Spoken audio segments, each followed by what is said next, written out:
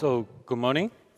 So, uh, I'm, uh, first of all, I'd like to thank the organizer of this symposium uh, for uh, the for kind invitation to this wonderful occasion, and also, uh, I think uh, also what I think as a part of this NAO families, I also would like to congratulate on first because on Monday I had a chance to visit uh, this uh, the BASF Shanghai uh, the research campus, and for this uh, second phase of BASF Innovation Campus, which is very very beautiful, and also at the same time this 105th anniversary of BASF.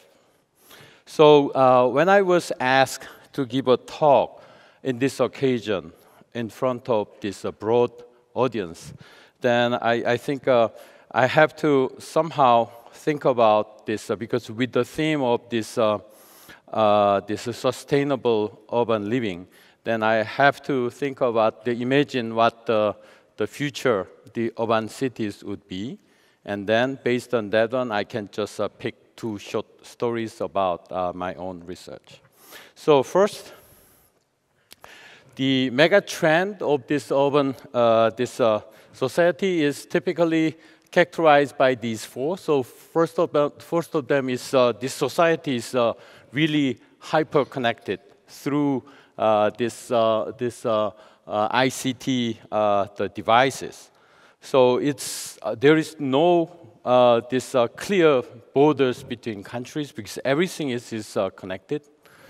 And also, I think uh, through, if you look at this one, then you have all these smartphones and you have online shopping. Yesterday, I, I heard uh, from the, uh, listen to the, t I, I just watched the TV that uh, Alibaba have just within 20 minutes, they have $5 billion of this uh, for Singles' Day, right? So you can have online shopping, telecommunications, you have wearable devices, and you have IoTs eventually. So everything is co so connected, and you can collect big data, and also you have to uh, also have deep learning, so everything is just running so fast. And also at the same time, if you look at this uh, quality of life, then you can have this like uh, smartwatches that can monitor your health conditions. And if necessary, then these, you can have patches which is attached to your body. So you can have wearable devices. In some cases, you can have bioimplantable devices. And if you look at the structures, then you can have this bunch of materials. And you have many materials embedded into these uh, simple bandages, and they have very unique functions. So if you look at this again, this, uh, look at uh, population, then because yesterday I think Dr. Bruder Müller talked about by 2030 the world population will be over 7 billion. But if you look at this uh, population, urban population as opposed to rural population, then as you know, the, the time goes by, you can see that urban population will be a lot higher than this rural the population, which means that everyone is flocking into these mega cities. So this trend is particularly true, particularly in Asia as well as uh, this Africa. Because if you look at this as time goes by, the population increase, particularly in Asia, and also later on, will uh, also we, it's, it's expected that the population in Africa will increase. So based on this one, I think uh, uh, some consulting companies predicted that uh, within every 10 to 15 years, you can double these uh, mega cities because people all want to live in uh, big cities. So I think this is something like a Moore's law in semiconductors, but you can have uh, that's a grand trend. So, and also at the same time, you can have this uh, global, uh, the climate change, and because we use a lot of this uh, fossil fuels, and you can have generate a lot of carbon dioxide, and you can see that this kind of uh, stopped, the polar bear doesn't have enough praise, And also you have a burning uh, earth, you sometimes have a desertification. So the consequences of, of this one is that you don't have enough, like uh, crop production is, is not really predictable. So if you have this uh, food supply chain, so you grow crops in the rural area and you transport everything, but these days, uh, there's a new urban trend is that they want to have like what they call urban farming. So within one, this apartment like uh, those buildings, and they want to grow all vegetable within this uh, high-rise building over here. So they, in that case, they need some wavelengths matched LEDs. I will come back to this one with the quantum dots. And I think yesterday we had a good sessions about water qualities and also this water uh, the treatment uh, and also all kind of this uh, membrane technology is very important and also disinfection uh, through different uh, technologies and different materials would be also very, very important. So and also yesterday, uh, Dr. Bruce Mueller talked about this because this population growth and this, uh, this if you look at like uh, visit New York City, then you can have really crowded people over there. So that typically lowers the quality of life and this convenience. So they tend to build high-rise buildings. So you can uh, have many big cities, they have uh, skyscrapers. And then this trend is, is keep going up over here. And in order to build really high-rise building, as, as yesterday uh, this uh, mentioned, uh, you can you need special uh, construction materials. So instead of randomly oriented fibers, you have well uh, organized, like for example, carbon fiber, glass fiber. You can uh, have totally different materials, and that's how you can build these high-rise materials very effectively. So, and also for next generation, I think uh, you need, uh, instead of this uh, internal engine, this automotive, you might have some environmentally friendly next generation batteries. So currently the batteries is lithium ion batteries, but still with this uh, current uh, existing these batteries, you cannot take this, uh, this uh, cars uh, to uh, long distance. So in order to get around it, you can make this uh, battery safer. You probably need all solid state batteries, or sometimes you can have different type of material, for example, lithium sulfur batteries, which increase this uh, specific capacity quite a bit, or sometimes you can have different materials, different uh, concept. And also, if you look at these building materials, yesterday, uh, I think this Dr. Giano, yeah, and he talked about uh, this, uh, this uh, new glass system and this, uh, uh, the uh, illumination system, dynamic glasses, so you can have this thermal insulating and solar control glazing. And this one is really totally new, based on new material, which is again based on chemistry innovations.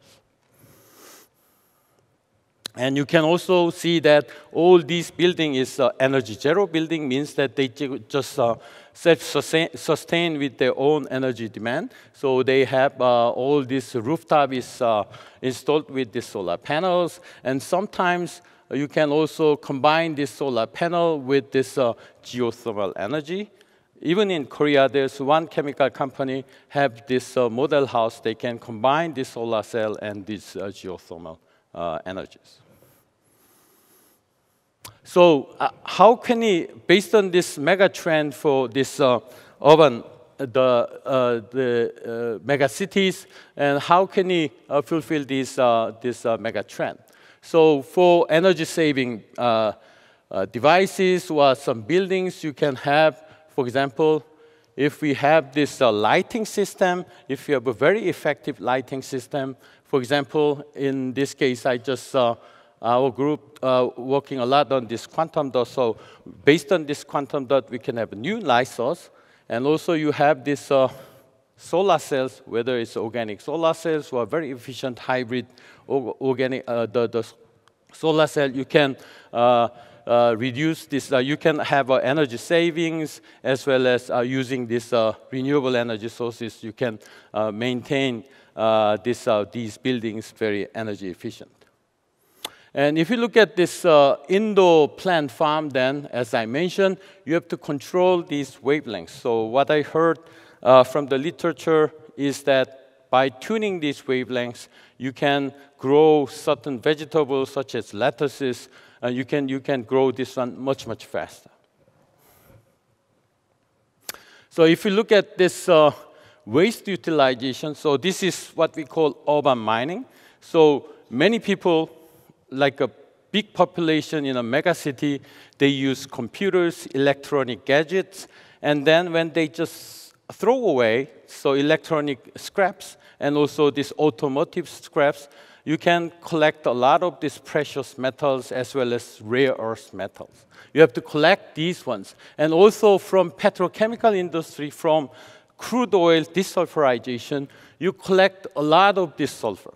So I'll come back to this one later on, but based on these cheap waste, and we can turn into batteries or IR thermal imaging lenses, then you can have application for cell phones for thermal imaging, or sometimes you can install onto uh, this uh, drone. So this is kind of urban mobility, like uh, many joggers taking dog leashed dogs, but from now on, probably these joggers will be followed by these uh, drones. So that would be setting a new trend.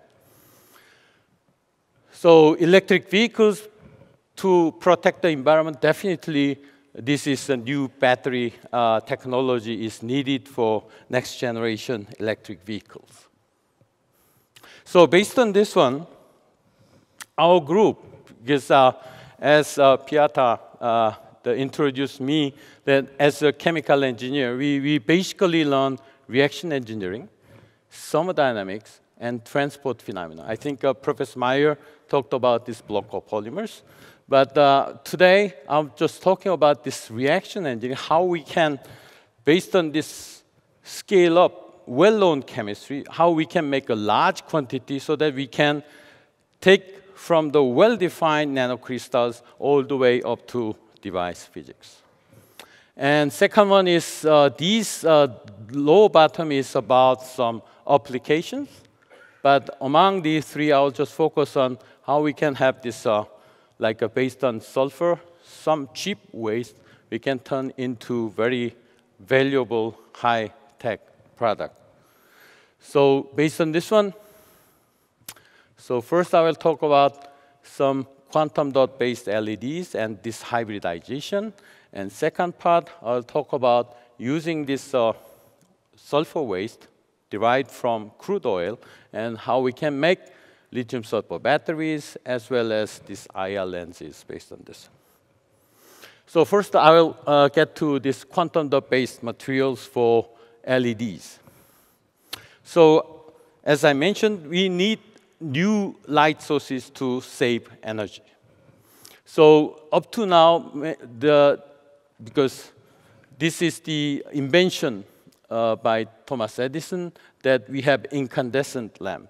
But instead of this illumination, we also waste a lot of energy because by heat, it's very uh, the hot bulb, so energy efficiency is only 5%.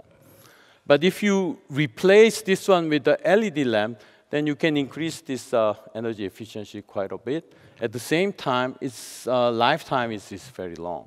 But at the moment, all this technology is there, but still the price is, is too much. So if you, this one is really uh, globally popular, then price will go down and we eventually replace these uh, LED lamps. So as shown over here, even uh, already Europe then 2012, this uh, old incandescent bulb is not uh, allowed to use it. It will be phased out. Already, I think, are phased out.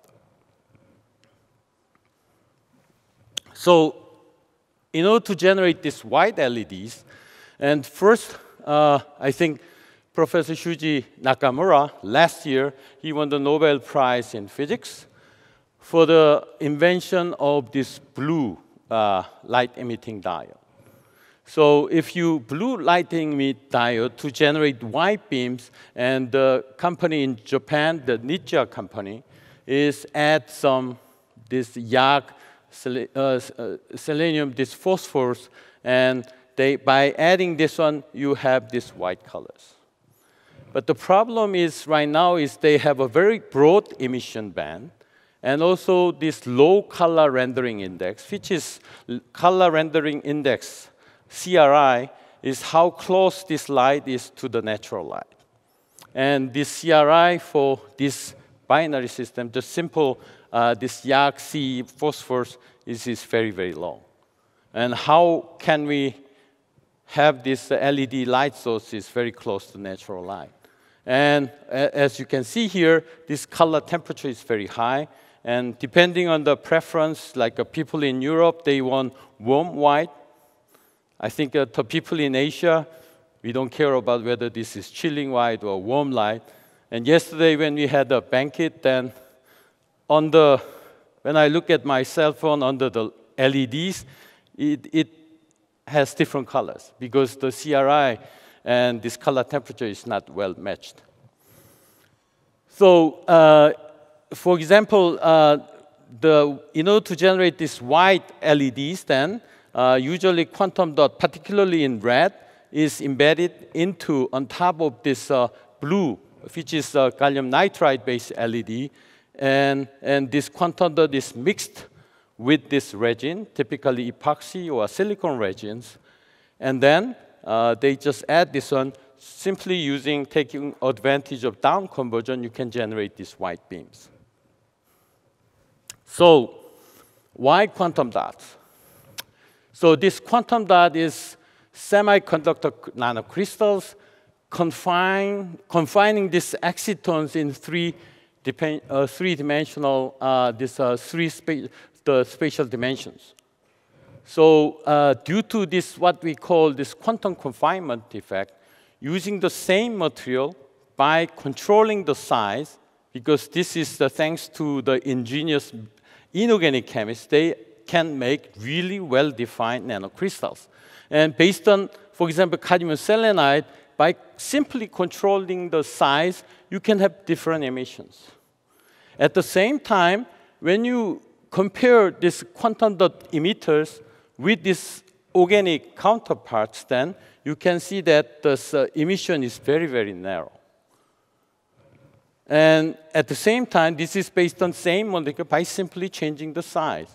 But if you look at these organic RGBs, then in individual phosphors, you have to do different synthesis.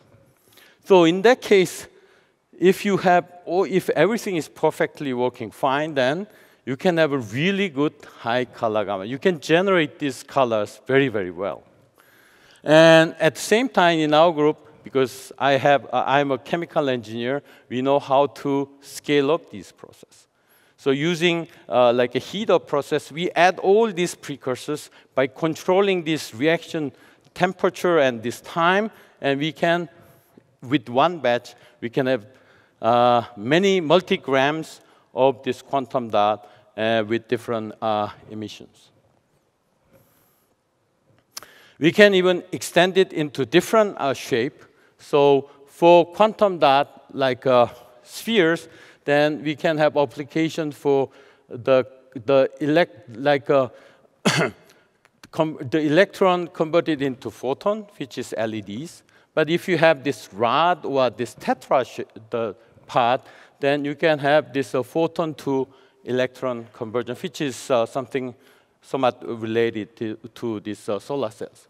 So our group, we can have a really well-defined large quantity quantum dot we can also have well-defined nanorod with different aspect ratio.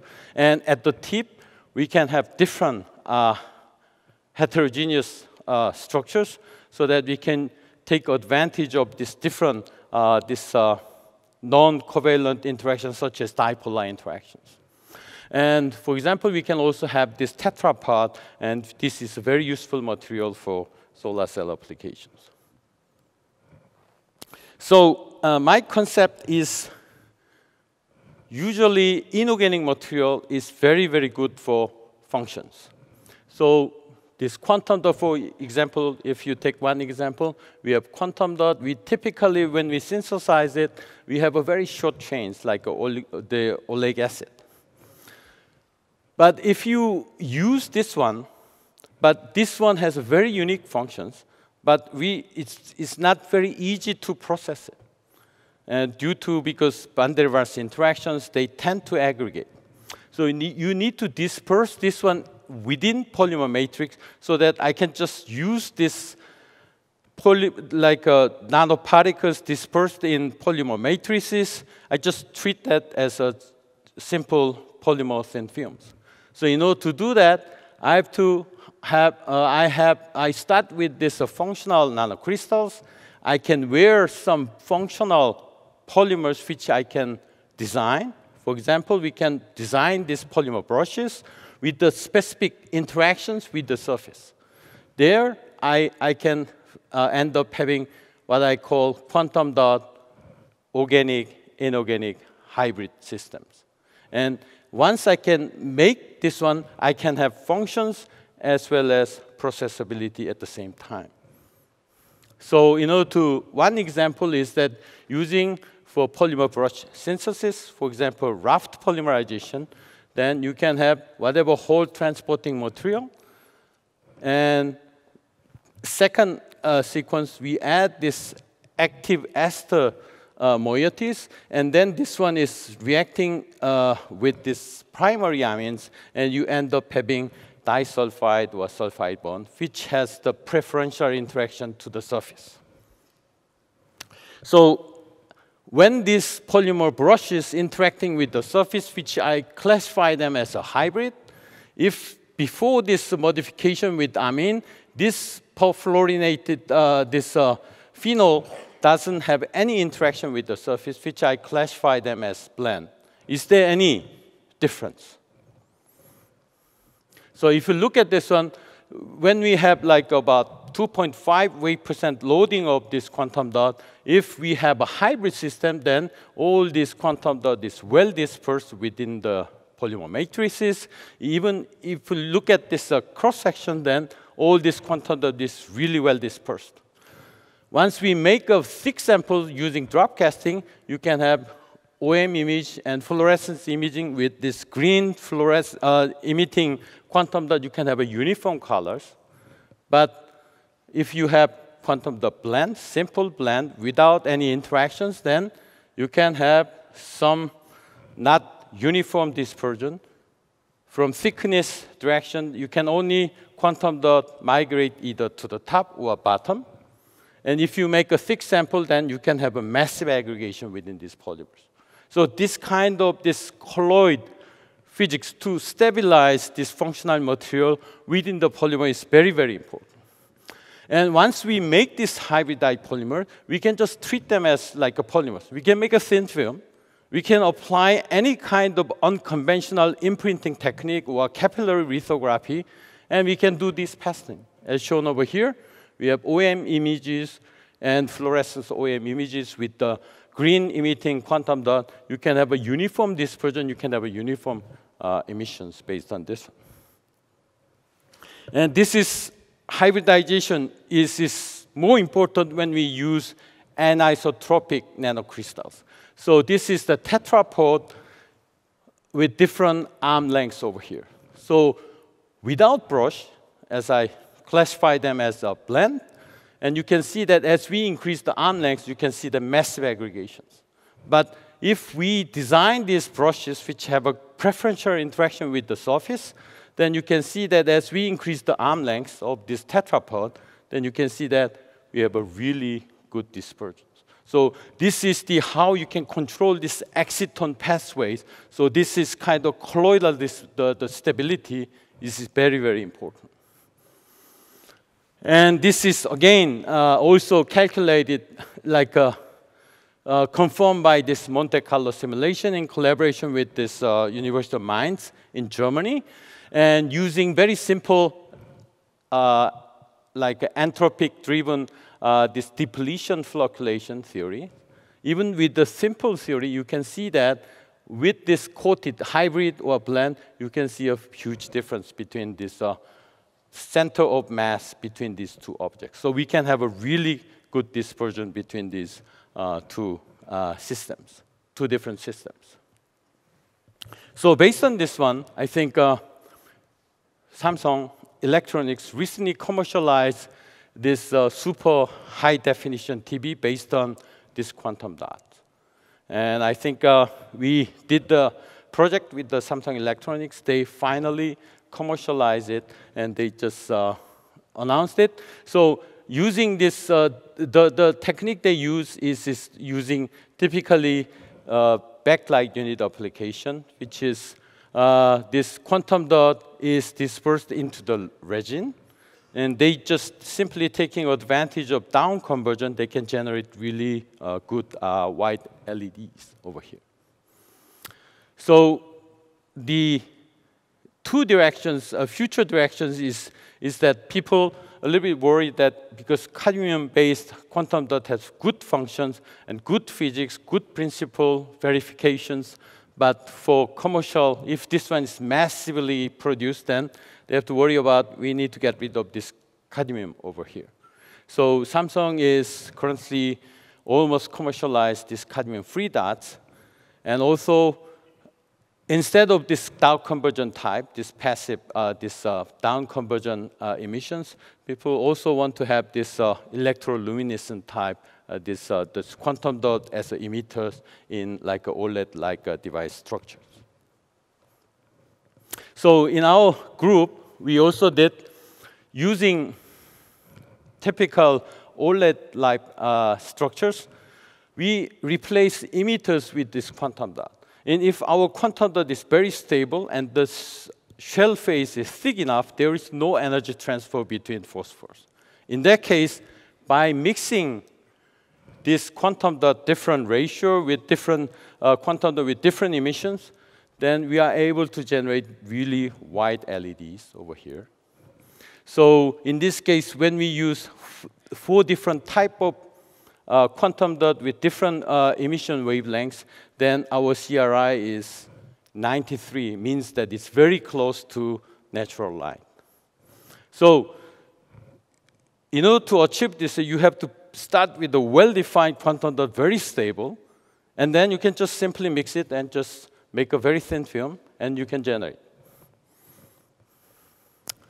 So our next generation display technique, I think, should we need to have a color reproduction due to this high color purity, which can be achieved by this uh, quantum dot. If this quantum dot is well defined, it's stable enough. So this full width half maximum is, should be less than 40 nanometers, which can be achieved with this, uh, this quantum dot over here. And theoretical internal quantum uh, uh efficiency should approach 100%. And also, this is typical for OLED and this QLED. You have a thin, lightweight, large viewing angle, low operation voltage with a high response, which is all display device, they need this one. And also at the same time, you need a very low cost uh, processing uh, uh, process should be uh, available. So I think uh, Samsung is uh, about four, four to five years, uh, the four years ago, they uh, showed the first demonstration of this based on this quantum dot. And in this case, you have typical OLED-like structures. We just simply replace this emission layer with this uh, quantum dot uh, simple layer.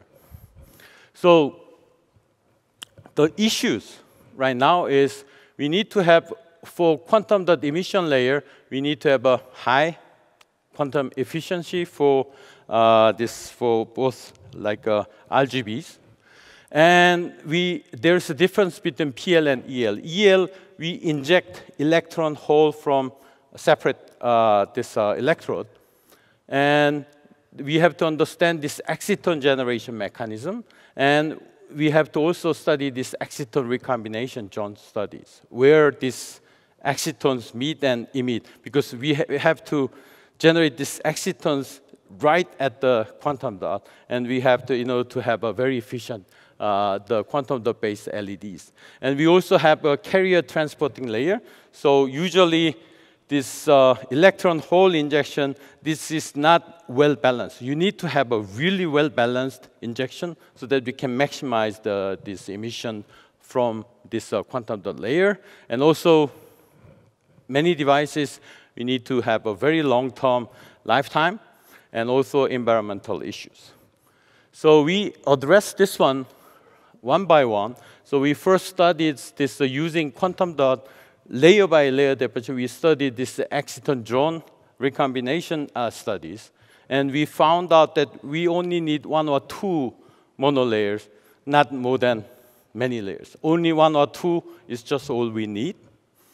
And also, in order to have a balanced charge injection, instead of conventional structure, we just switch to inverted structure because this quantum dot has different LUMO HOMO level, and we have to take different uh, strategies. And finally, using environmentally benign quantum dot, which is based on indium phosphide, we make quantum dot uh, these LEDs, and this one is more or less show a very great uh, promise. And more recently, we just took it even further. So using this kind of core shell structures, by controlling, so to begin with, in order to have a genuine UV LEDs, the quantum dot-based LEDs, then we start with a very small core size because small core size with, with a wider band gap, but still at that time it's not easy. So we, what we did is we did atomic diffusion by further increase the reaction. So let this reaction between core shell make this interface diffuse, and by controlling this uh, reaction condition, we are finally able to generate genuine UV emitting quantum dot based light emitting diode. And we again use inverted structures. And this one has very interesting application for regular visible uh, quantum dot you can excite. And also we have a counterfeit detection or sometimes if we have a UV, then you can have sterilization using this kind of uh, this uh, UV, uh, this quantum dot-based LEDs. So, so this is first part of my talk is about you have to start with a well-defined uh, this quantum dot, and then you need to find a way to have well dispersed so that you can increase the processability, and based on this one, you can have a really efficient uh, devices based on like for LEDs or solar cells. So my second part is about sulfur utilization. As you can see that from crude oil desulfurization, you have these mountains of this yellow powder. So this yellow powder comes from crude oil through this desulfurization. So you generate this one, and then finally they just cyclize eight-membered rings. And that's how you can have this one. And depending on the crude oil source, you can have different amount of this sulfur. But uh, some, like uh, countries, like for example in Canada, then they just have uh, this yellow, this uh, sulfur uh, pyramid structures they're currently building because they have excess. So annually they have more than 6 million tons generated worldwide. And you need to find a good use of this excess amount of sulfur. So what's really nice about this sulfur is that it has very interesting properties. First one, it has very high energy densities for lithium insertion. So many people talk about lithium sulfur batteries. But up to now, the performance was not very satisfactory. So you need to find different way to modify the sulfur. And another one is good electrical insulator. Sometimes this is good, or sometimes this is not good. You have to modify it. And another uh, interesting property is this is a high refractive index. But the, the problem right now is the sulfur doesn't dissolve into any organic solvent. A, it's a really crystalline powders. And also, so that's why you need to, if you find a good way to process the sulfur like a polymer processing, then you can take advantage of these, all these good physical properties. So, for example, lithium sulfur batteries, when you compare with the conventional lithium ion battery cathode, and typical specific capacity is about less than 200 milliamp hour per gram. But if theoretical uh, specific capacity with elementary sulfur, then you can have 1600 milliamp hour per gram. So there's huge difference. So there is a driving, strong drive to use this one. At the same time, this sulfur is a waste from crude oil. And this, another one is high refractive index polymers. If you have, because I'm wearing a glass, and if you have a high refractive index glass, it's very expensive, and this is due to you have sulfur content. So if you look at this uh, molecular refraction, then among many other combinations, this by incorporating this sulfur into this system, you can have very high. Uh, so when people do this one, because I'm not the first one who do this, and there has been around, many people worked on this sulfur, very famous people. So when they did this one, if you look at this one, when you start with the yellow powder, and above melting point, you can have a yellow liquid. And then you can, if you heat up, then you can have these uh, polymers over here. But if you cool down, then they just automatically depolymerize, coming back down to rolling back to powders. So I think many famous professors study on this one, but you know, in terms of application, you somehow make this polymeric structure maintain, and you can just uh, process it. So I think uh, we wrote the, the review paper in this uh, special issue that there are several ways to use these uh, sulfurs. One of them is melt process using diradical anions, uh, diradicals, and the, the, another one is in aqueous solution, we use dianions over here. And third one is we have a cyclic structure so that we can do just living polymerization over here. So first one is what I call melt process. So this is, I think, uh, in collaboration with Jeffrey Pyun from uh, University of Arizona when he joined our department as a WCU professor. And we talked about how we can take advantage of this sulfur. So with this molten liquid sulfur, we add a little bit of additives like uh, isopropenyl benzene over here is some, something like a vulcanizer.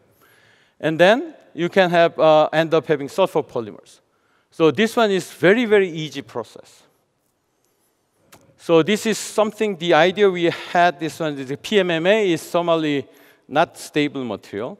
And, and then you know, to make this uh, PMMA more thermally stable, you add a little bit of this monomers at the end. And this work as a hairpin so that they can, when they unzip these uh, monomers, then these uh, monomers, the, the second uh, monomers, they can protect this unzipping. So we add this kind of hairpins, like uh, we, we add these additives.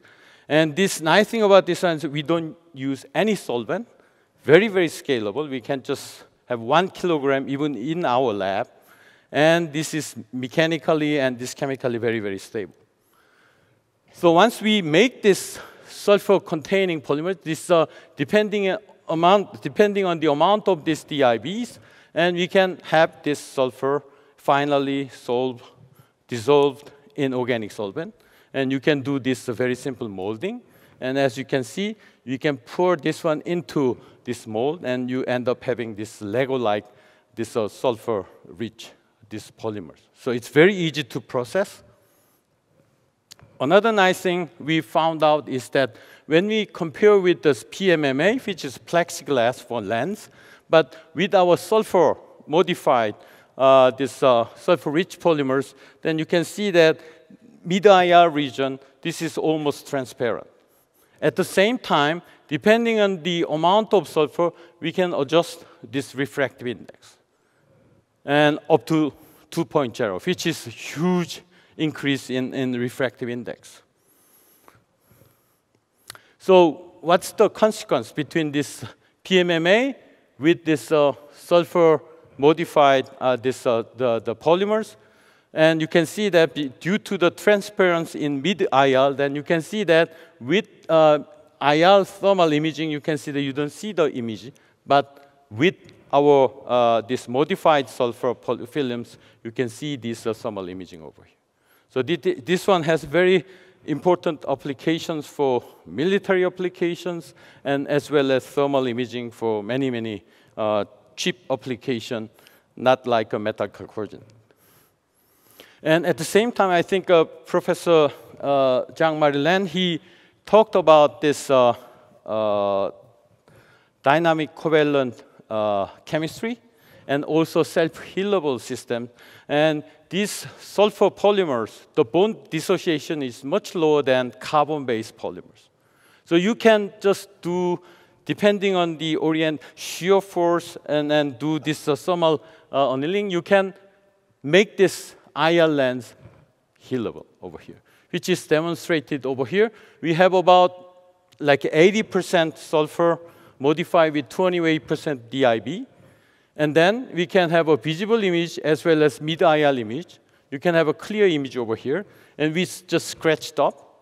So you don't see any image over here, but we just put it back into the mold and you, we, we heat very low temperatures because this sulfur-sulfur bond uh, dissociation is low enough, and then we can heal, and you can again see both visible and this mid-IR uh, images over here. And for batteries, we, if we use pristine sulfur, then after like a 50, 60 cycle, immediately battery performance goes out, which is not useful for applications. But when we modify the sulfur, then initial, our initial system is up to 100 cycles, very stable. But we further uh, the, the uh, modify this uh, sulfur cathode, and by preventing sulfur dissolution into the electrolyte and also with the high C rate. And you can see that there's huge improvement. And we further improve that this specific capacity maintained above 1100 over 500 cycles. So second one is using uh, this uh, aqueous uh, dianion systems. So for example, uh, if we have excess amount of sulfur, another way to use it make this sulfur like uh, micro or submicron particles in large quantity. So what we did is we mixed this sulfur with this uh, uh, sodium sulfide in aqueous solution. And then we add some surfactant and a little bit of this uh, crosslinker over here. And this uh, TCP structure is over here. And this uh, CTAB is a surfactant initially. And we found out that only cationic surfactant works with, with these systems. So we started with this uh, solution. After we add TCP, we still have yellow homogeneous solution. After we have a reaction for eight hours at uh, three, uh, uh the 30 degrees Celsius, we finally have turbid system, means that you, we might have some particles. So we examine the system, you can see that, you can see the well-defined sulfur nanoparticles. And with this dynamic, uh, this uh, light scattering, you can have well-defined structures. So we able to, how can you control the size and this sulfur content? So using this sulfur chemistry, we are able to control the rank, average number of sulfur between these two groups. And by controlling this rank, we are able to increase the size. At the same time, as we increase the length, we also increase the sulfur content within one sulfur particles. So the mechanism is, is different from typical the emulsion polymerization. This surfactant, like a CTAB, work, also work as a phase transfer catalyst. So initially they have uh, anion sulfur dianions associated with the positively charged surfactant, and they just transfer into the dispersed phase and do this cross-linking over here. At the same time, you have excess amount of this surfactant, you can have this, uh, this, uh, uh, this uh, CTAB work as a surfactant too. So in order to separate these roles, we replace one of this uh, CTAB with this, uh, uh, this uh, TBAP, which is only work as a phase transfer catalyst, and we add non-ionic surfactant, just work the, the, the act as a just simple surfactant. Again, we can make a really well-defined sulfur-rich particles. And for this case, as I mentioned, the sulfur is not very soluble, not very miscible with any kind of uh, carbon materials. So the surface is easily stripped. So if you increase the solid content, like uh, for industry, then they are easily aggregated. So in order to maintain the charge, then we synthesize this positively charged surfactant with this double bond at the end, and this double bond hopefully have a reaction with the sulfur. We finally found that uh, with the rank 4 of sulfur, then over many hours, we maintain the hydrodynamic radius. At the same time, when we measure the surface potential, then this one maintained the positive uh, charge, meaning that this particle is very, very stable. We are able to increase the solid content. So finally, I don't have enough time. So we, we can also modify this uh, Norbornene type structures with this uh, cyclic sulfur. And then using this uh, living polymerization, we are able to have uh, really well-defined sulfur uh, nanoparticles. So as I mentioned, sulfur is not very miscible with any kind of hydrocarbons. So we prepare this, uh, this so this uh, norbornadiene is also derived from petrochemical. Like uh, if you have a C5 or a higher waxy resin using Diels-Alder reaction, you can convert into norbornene or norbornadiene. And reacting with another cheap waste, sulfur, then you are able to uh, prepare this uh, cyclic sulfur. And based on this cyclic sulfur, we do uh, ring opening polymerization. And this usually sulfur is well known for deactivation for catalyst, but we are surprised that when we use third generation, the Grubbs catalyst, this one works like a charm. So you can do sequential uh, living polymerization. So we are finally able to make this uh, block copolymer type. But what's really interesting is that as we increase the number of this uh, second cyclic, uh, the, the norbornene with containing cyclic sulfur, this one automatically forms these uh, nanoparticles. So as shown over here, as we increase the number of M over here, then we can see that we can linearly increase this uh, hydrodynamic radius over here. So based on this one, we can as I mentioned, by increasing the amount of sulfur, we can increase the refractive index. And based on this Professor Ueda's uh, this uh, well-known work on refractive index uh, as uh, numbers, then our polymer is just around this boundary over here. So based on this one, I think we are able to, by combining different uh, preparation schemes, we are able to prepare well-defined sulfur-rich particles ranging from 20 nanometers all the way up to several hundred nanometers over here. So I think my time is up. So its second part is about the sulfur. You can have industrial waste, and you can convert that into very, very valuable product by just simply adding your uh, knowledge over here. So based on thing, this one, I would like to acknowledge my collaborator, Jeffrey Pyun. He's our WCU uh, professor, we studied this uh, sulfur project all together. Professor Changhee Lee and Sung Lee uh, is about the quantum dot uh, devices and the synthesis. Jiu Lim, who is in the audience, is, is uh, helping me with this chemistry. And Tae-Lim Choi is uh, the worldwide expert in ROMP polymerization. With that, and I also acknowledge Dr.